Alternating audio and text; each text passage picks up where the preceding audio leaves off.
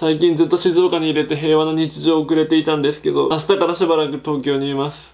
テンション上げよう。これぐらいの板ならオイラでも割れるわ。行くぜえ、マジ割れそうだな、でも実際。本気なら割れるわ。行きます。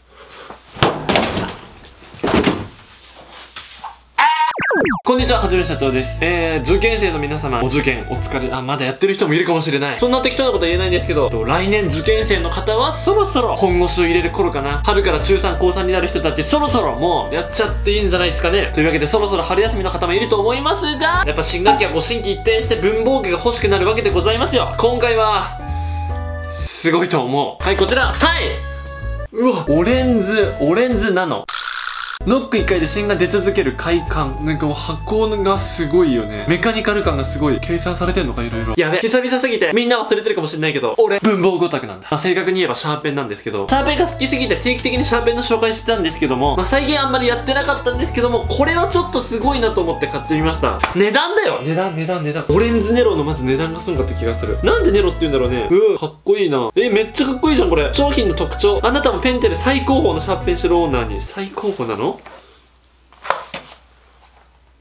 待ってこれやなるほどなるほど。そうそうそう。えっ、とそうだよね。ああなるほどね。新自動出し機能。やばいじゃん。あーこれはすごいな。あー。うわー震える。今いろいろ調べてみたんですけどもペンテルさんのなんか集大成感があるな。これは。ちょっと開けていきましょうか。あ値段値段値段。ああなるほど。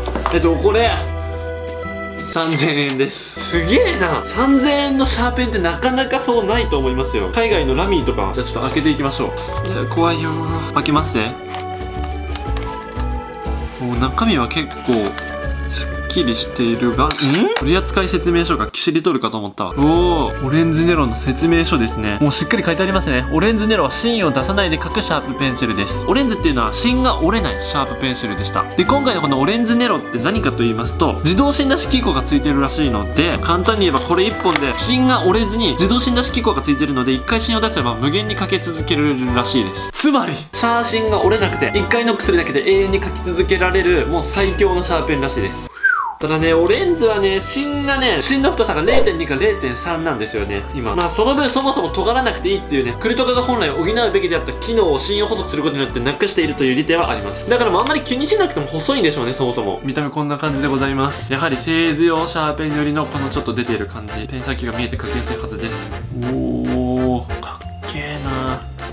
やっぱ黒っていいよね。あー、ネロって黒って意味らしいですね、イタリア語で。これすごいな。まあ実際に嗅いでみないとわかんないんですけども、ちょっとまとめさせてください。値段なりの多分あるんだと思います。オレンズだから芯が折れない。で、芯が自動で永遠に出続けるからノックの必要なし。そして低重心なんて疲れないという最強のシャーペンらしいでございます。なんか学生が終わってからそんなにシャーペン持つことないんですけども、なんやかんやたまに変えたりするんですよ。まあちょっと一回変えてみましょう。これだともう多分芯が出すぎですね。もうね、多分見えないぐらいでいいんですよ。これぐらいちょびっと出てるだけで多分書き続けられるはず。じゃあ変えてみましょうか。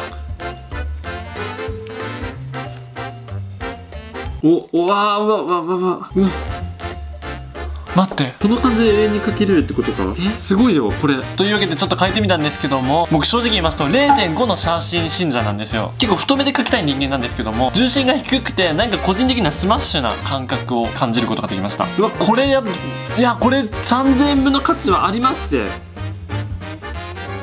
あーこれやばいわなんか東大行ける気がしてきた。というわけでちょっと書いてみたんですけども。すごいぞ。もう手が震えちゃってるもん。伊達に3000円だなっていう感じはしました。あのスマッシュとか本当に最高のシャーペンだったしオレンズも芯折れなくてすごいいいと思ったしそのいいところだけを取り寄せて作ったなんか集大成というか気合入ってるなって感じた一品でした。まず黒っていうのがもうずるいよ黒。やっぱシャーペンまあ赤もいいですよ。赤もいいです。赤黒だとなおよし。赤黒だとなおよしなんですけども結局黒が一番かっこいいと思ってます。手元黒いシャーペンの男いたらどうするよ？女の子のみんな。これでしょ？せやろ？いやかっこいいな。マジで惚れたわ。えーと新学期始まると思います。そして春休みの宿題もあると思います。そして来年いよいよ受験だよって人たちもスタートしちゃっていいと思います。じゃあ新しく学校に入学した皆さんスタートダッシュが肝心やで。いや本当にいいシャーペンでした。3000円の価値は僕は正直あると思います。バイ！